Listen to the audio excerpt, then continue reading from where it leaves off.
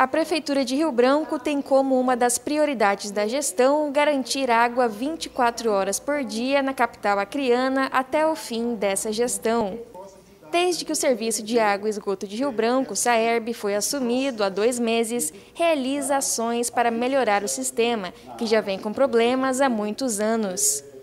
O objetivo da Prefeitura é garantir o que é de cada cidadão rio-branquense por direito, o de ter água de qualidade em suas residências.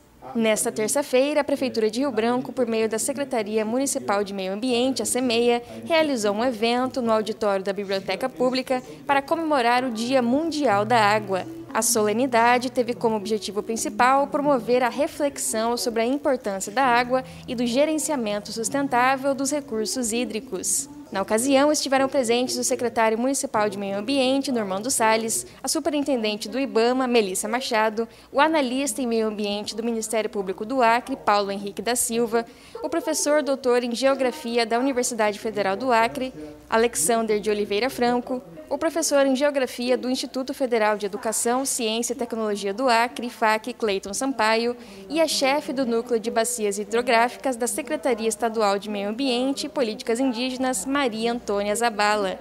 Na mesa redonda, o tema deste ano foi Águas Subterrâneas, tornando o invisível visível. O tema evidencia que, embora essas águas estejam escondidas sobre os nossos pés, elas enriquecem as nossas vidas e apoiam o abastecimento de água potável, os sistemas de saneamento, agricultura, indústrias e ecossistemas.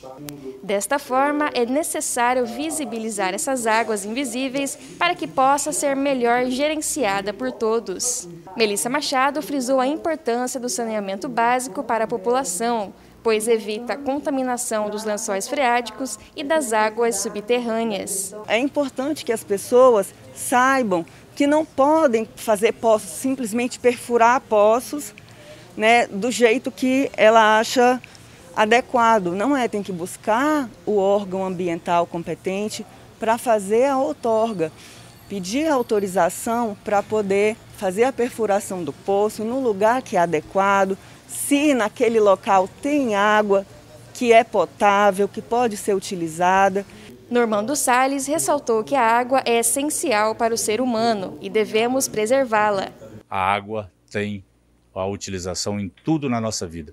Se nós não tivermos a consciência disso, nós estamos acabando com um dos bens é, mais preciosos que o ser humano precisa, porque sem água também não tem saúde. Então nós temos a necessidade de pensar na água e pensar na água para o futuro e para quem vai consumir ela lá na frente.